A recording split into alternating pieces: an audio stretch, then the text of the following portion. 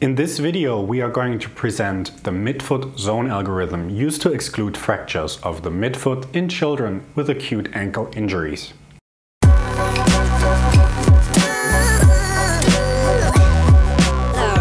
Get our very own assessment ebook and mobile app. Links are in the video description. Hi and welcome back to Physio Tutors. The midfoot zone algorithm was developed by Dayan and colleagues in 2004.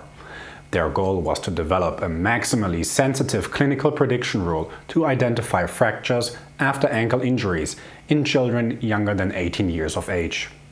This includes fractures of the base of the metatarsals, navicular bone, the calcaneus, cuboid or cuneiform. They argued the importance of such a new CPR as validation studies of the Ottawa ankle rules in a population of children resulted in conflicting results. A recent systematic review by Barelds et al. from 2017 looked at various clinical prediction rules for ankle and midfoot fractures and reports a sensitivity of 95% and a specificity of 32% for the midfoot zone algorithm. The CPR has yet to reach further validation and the authors report several possible limitations, which is why for now we give it a moderate clinical value.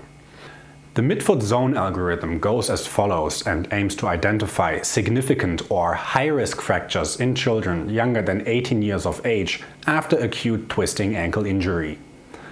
The one and only step is to check for tenderness over the fifth metatarsal or cuboid.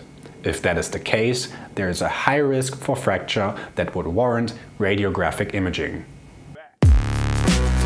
Alright, thanks for watching. The authors have also developed a CPR for the malleolar zone, so go check out this video next by clicking or tapping on the left.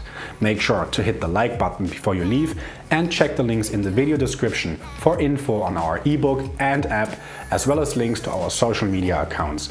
As always, this was Andreas for Physio Tutors. I'll see you in another video. Bye.